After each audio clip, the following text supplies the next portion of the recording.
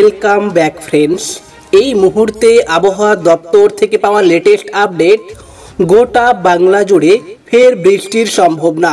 কবে থেকে জেনে নিন? তো বন্ধুগণ, রাজ্যের কোন কোন জেলায় আবার ভারী বৃষ্টির সম্ভাবনা? এই ভারী বৃষ্টি কতদিন চলবে? কি জানিয়েছে আবহাওয়া দপ্তর? বিস্তারিত জানিয়ে দেব অবশ্যই, শেষ পর্যন্ত দেখবেন। বলা হয়েছে, উত্তরবঙ্গ জুড়ে ভারী বৃষ্টির সতর্কতা জারি থাকলেও দক্ষিণবঙ্গ জুড়ে চলছে রোদ বৃষ্টির খেলা। আজও কলকাতায় আংশিক মেঘলা আকাশের পাশাপাশি বজ্রবিদ্যুৎ সহ দু এক পশলা বৃষ্টির সম্ভাবনা রয়েছে বলে জানিয়েছে আলিপুর আবহাওয়া দপ্তর।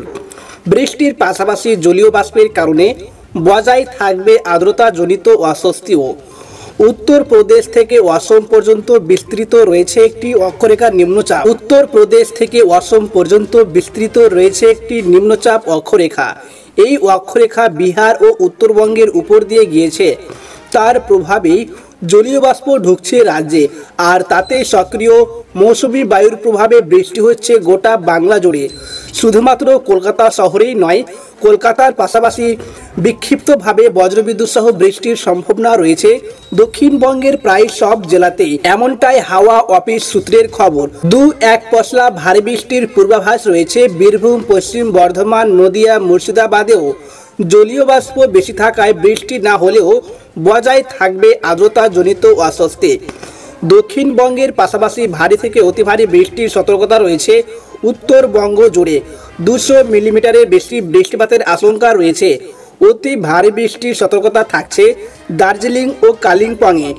এছাড়া ভারী বৃষ্টির সতর্কতা রয়েছে মালদা এবং উত্তর ও দক্ষিণ দিনাজপুরে। এর পাশাপাশি আগামী শনিবার অর্থাৎ কাল উত্তরবঙ্গের জেলাগুলিতে ভারী থেকে অতি ভারী বৃষ্টির পূর্বাভাস দেওয়া হয়েছে।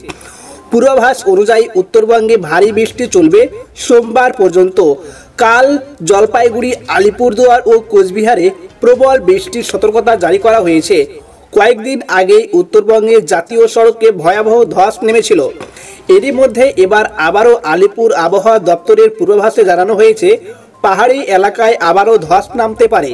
পাশাপাশি নদীর জলস্তর বাড়ার আশঙ্কার কথাও জানানো হয়েছে। আর তার জেরেই প্লাবনে ভাসতে পারে নিচু এলাকা। এমনই সতর্কতা জারি করা হয়েছে আবহাওয়া দপ্তরের তরফ থেকে।